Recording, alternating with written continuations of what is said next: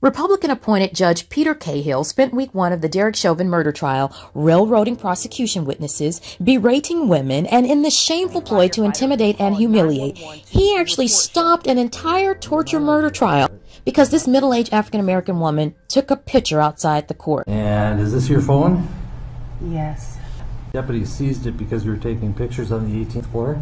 Sure, I apologize. I apologized to him then. I'm sorry, yeah, I did.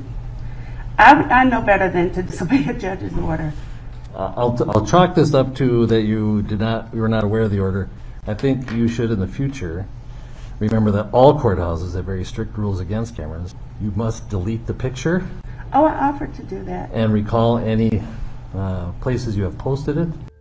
Once she groveled before him, he was fine in his robe, and the judge, who has tried to free Chauvin 12 times already, allowed the torture murder trial to resume.